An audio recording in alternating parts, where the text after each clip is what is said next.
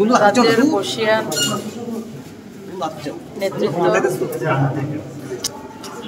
ভারতীয় Janata Party IPFT সরকারের cabinet মন্ত্রী মাননীয় এনসিদেব বর্মা অসুস্থ রয়েছেন আপনারা সবাই জানেন। ওনার ব্রেন স্ট্রোক হয়েছে। বর্তমানে অতি চলছে। ভগবানের কাছে প্রার্থনা করি উনি বিগত দু একবার ওনার অসুস্থতা আমরা সবাই দেখেছি, শুনেছি।